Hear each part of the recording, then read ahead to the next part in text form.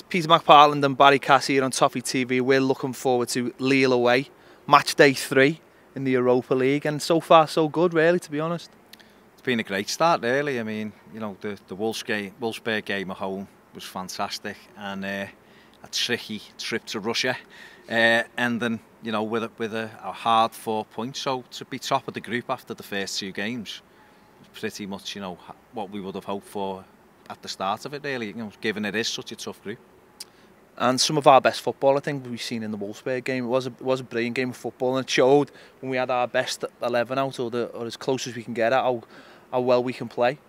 Definitely, and you know Wolfsburg were excellent as well. So to beat a team like that, you know, convincingly in the end, um, was fantastic. And it's just a pity that we haven't been able to get our best 11 out there. Mm. You know, but it gives you the hope, doesn't it, that when everyone's back and fit, you know, we're going to have some side.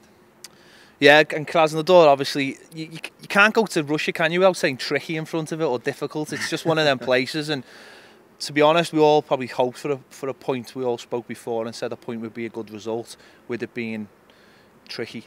tricky. Not knowing too much about them, but I think, you know, for large parts of the game, we were under pressure. But in the end, we got the point thanks to Samueletto's goal. And I think we were all happy with that.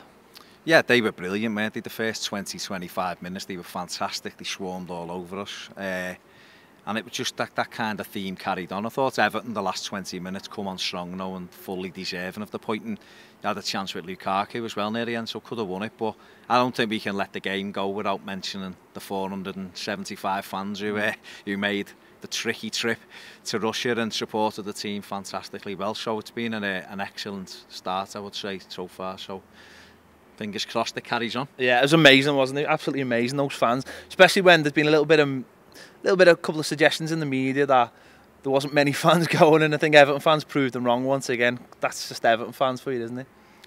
Where there's a will, there's a way, yeah. and uh, Evertonians will always find themselves there and find that way there, and a fantastic effort and a great effort by the players at the end going over and giving the shirts to the, the fans. Thought that was a fantastic gesture and all in it together. Long may continue. Realistically, we've got you know four points. What do you think points-wise we need to get out this group? Well, I think I think because we've started quite solidly, if we could win both the home games, I think we'd be out of it. I think 10 points gets you through. It obviously takes the pressure off. If we can nick a point in our next one and then beat Lille home, that'll give us eight. Be a fantastic return, and then we'd only need to beat Krasnodar at home and, and we'd be out of the group. So I am I'm looking for another six points from the, the remaining 12. So I think that gets us out of it.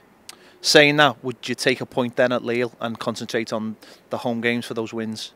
Definitely. I think any points away in the group is a good one. And as long as you win your home games, it sets you up nicely. This has been Ped and Baz on Toffee TV. Looking forward to the away trip to Lille.